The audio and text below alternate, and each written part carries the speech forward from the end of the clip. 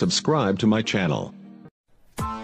press the bell icon on the YouTube दोस्तों, बड़ी खबर आ रही है। ट्रेन में, जब एक यहूदी युवक ने गंदे तरीके से एक लड़की की बड़ी को छुआ, तब मुस्लिम युवक ने उस यहूदी युवक के साथ जो करा, उसे जानकर आप हैरान रह जाओगे। खबर जानने के लिए वीडियो पूरी देखें। आपको बता दे, दुनिया भर की मीडिया मुसलमानों के खिलाफ नफरत फैला रही है। और अगर मुसलमान कोई भी गलत काम कर देता है तो उसे दुनिया भर की मीडिया दिखाती है और बोलती है कि यह है इस्लाम धर्म की तालीम। और उसके ऊपर डिबेट होती है। न्यूज़ चैनलों पर लाइव शो चलाया जाता है, लेकिन जब वही मुसलमान कोई अच्छा काम करता है तब इन मीडिया वालों को सांप सूंघ जाता है, और कभी भी अपने न्यूज़ चैनल पर उस मुसलमान की अच्छाई को नहीं दिखाते हैं। वहीं दोस्तों, सोशल मीडिया पर एक वीडियो बहुत तेज़ी से वायरल हो रही है, जिस वीडियो में देखा जा सकता है कि जब लोग ट्रेन में सफ़र कर रहे होते हैं, तब एक यहूदी युवक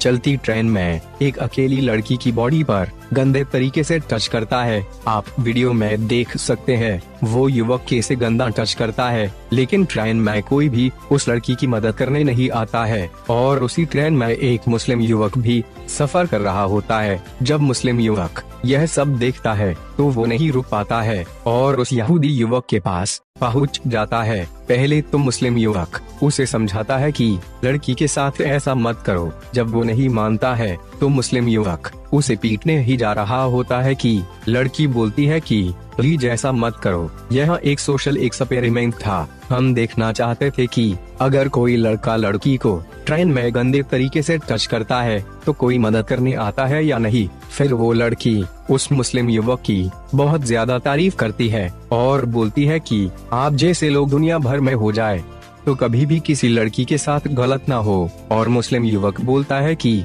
मैं एक मुस्लिम हूँ, और हमें इस्लाम ने तालीम दी है कि, किसी के ऊपर भी अत्याचार होता हुआ मत देखो। आपकी इस खबर के बारे में क्या राय है? कमेंट करके ज़रूर बताएँ, और इस वीडियो को शेयर करना ना भूले। धन्यवाद।